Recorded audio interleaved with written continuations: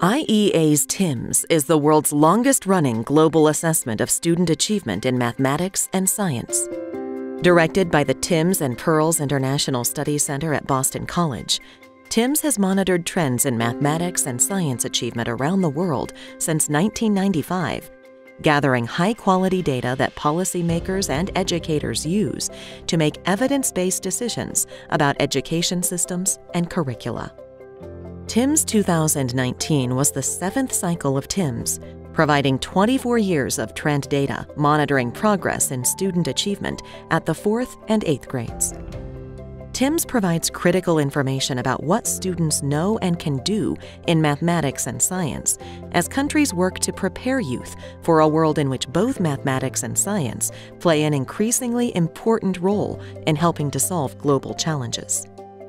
The health of our planet depends on upcoming generations that can be leaders in technological innovation and that can participate in a global society prepared to protect our environment and well being. In 2019, 64 countries and eight benchmarking systems participated in TIMSS, and altogether, nearly 600,000 students were assessed. The TIMSS mathematics and science assessments are based on countries' shared expectations of what students should know and be able to do, and included almost 1,000 mathematics and science achievement items. TIMSS 2019 also marked the beginning of the transition to digital assessment, enabling TIMSS to include more interactive and innovative item types that engage students. About half of the participating countries administered the eTIMSS version of the assessments. In fourth grade mathematics, Singapore was the top performing country. Together with Hong Kong, Korea, Chinese Taipei, and Japan, the East Asian countries led other TIMSS countries by a substantial margin. A 26 point gap set them apart from the next highest scoring countries. At the eighth grade, the five East Asian countries again outperformed the rest of the countries Singapore, Chinese Taipei, and Korea, followed by Japan and then Hong Kong. The gap between these countries and the rest was even greater, at 35 score points. Results for science were a little different, especially at the fourth grade.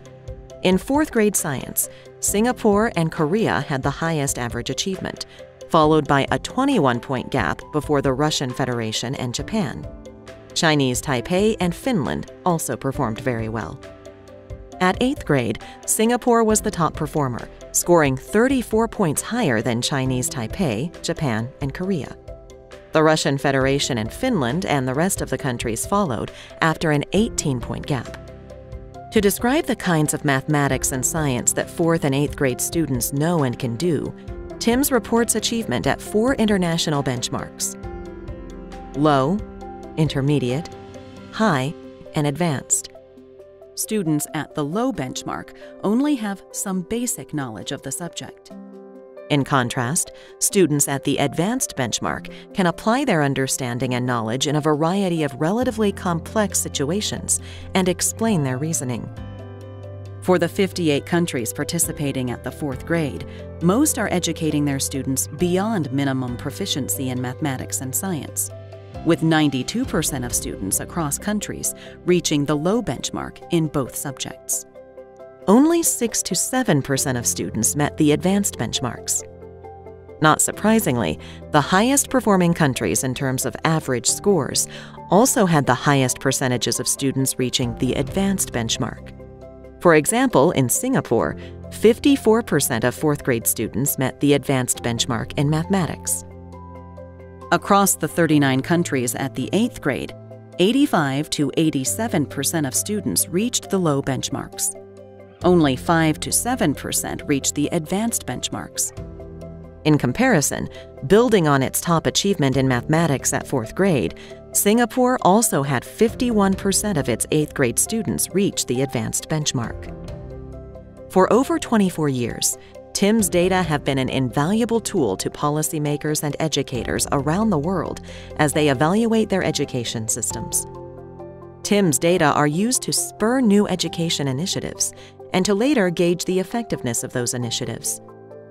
Recent trends compare average achievement in TIMSS 2019 to average achievement in 2015.